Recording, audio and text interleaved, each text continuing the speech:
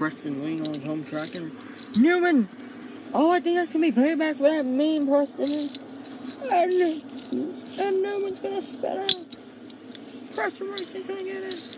Big one at Daytona. The big one's gonna happen in town day. Preston Racing. Absolutely destroyed. I got damage too. Tony Green is gonna get by. And Christian Nemes. Oh my. Big hit for the owner.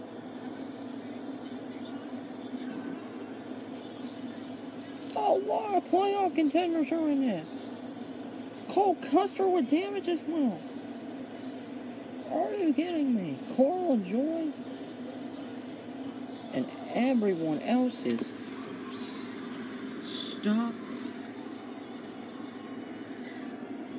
And I mean, like, Byron back into the pits. I mean, like, look at Denny Hamlin. Preston Racing 11.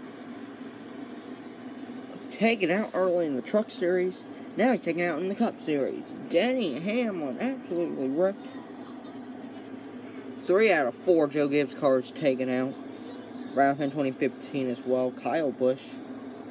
The 19 Martin Truex. Kyle Busch. Christian Nemes. Alex Bowman.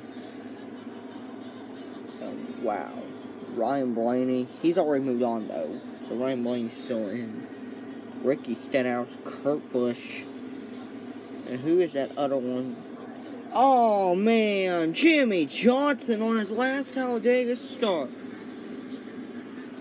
Luckily, Erik Jones did not get in it. Let's see who's not going to get through.